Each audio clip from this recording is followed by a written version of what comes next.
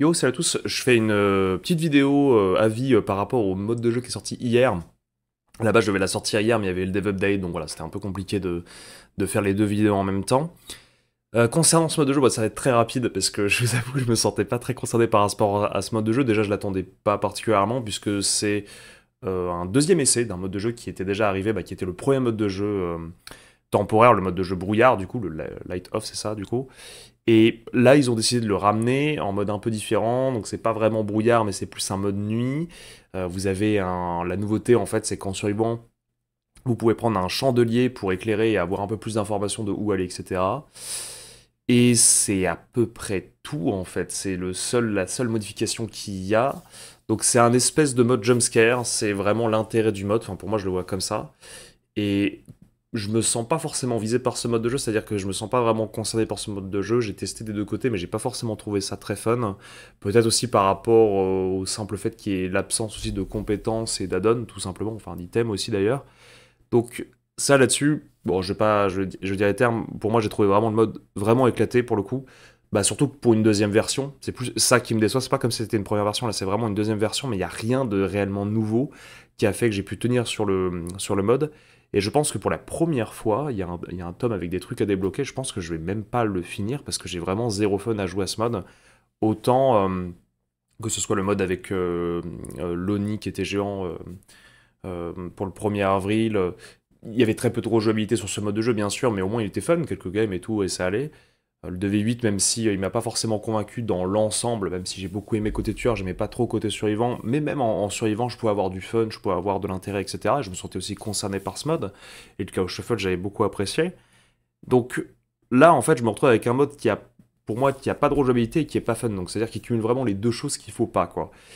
Et la question que je me suis posée, et c'est d'ailleurs un truc que vous pourrez peut-être répondre en commentaire pour les nouveaux joueurs notamment, c'est est-ce que ce mode de jeu, au final, bah, est sorti trop tard. C'est-à-dire que, est-ce que, s'il était sorti il y a 8 ans, par exemple, est-ce qu'il aurait fonctionné? Puisque au début, il y avait un peu ce côté jumpscare, etc. Euh, enfin, la façon dont étaient présentés les BD était un jeu d'horreur un peu euh, avec le, le, potentiel jumpscare, en fait.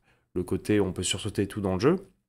Maintenant, est-ce que un nouveau joueur qui est intéressé par le jeu, ou même qui se fait poule sur le jeu par un ami, est-ce que l'ami en question va lui dire ouais c'est un jeu où tu vas où il va y avoir des jumpscares et tout?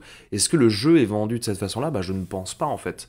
Donc c'est un mode de jeu qui concerne, je pense, très peu de gens, que ce soit euh, vétérans ou nouveaux d'ailleurs. Honnêtement, je pense que pas énormément de gens sont intéressés par le mode. Et même s'ils le sont, je pense pas qu'il offre une rejouabilité énorme.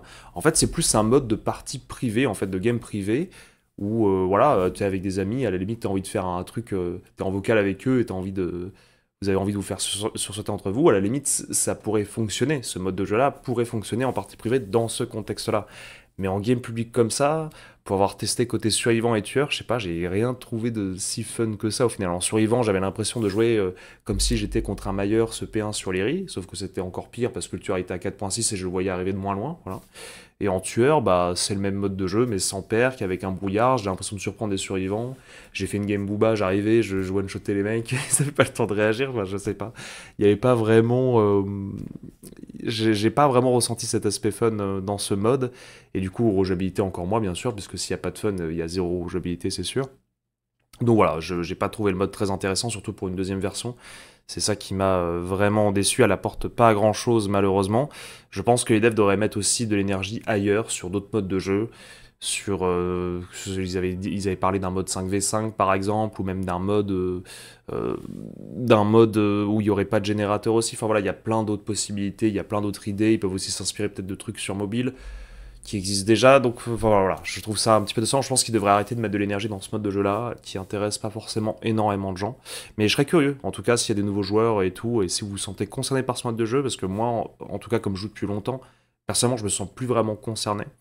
Mais voilà, en tout cas, j'ai pas forcément trouvé le, jeu, enfin, le mode de jeu intéressant, surtout pour une deuxième version, donc j'ai trouvé euh, euh, très décevant. Voilà, bon, j'ai pas forcément euh, grand chose à rajouter. Merci d'avoir regardé. N'hésitez pas à me dire du coup ce que vous en pensez par rapport à ce mode, ou aussi d'autres trucs que vous pensez à améliorer enfin d'autres trucs qui pourraient être améliorés pour que ce soit accessible et qu'il y ait une rejouabilité et tout, et que ce soit au final beaucoup plus fun.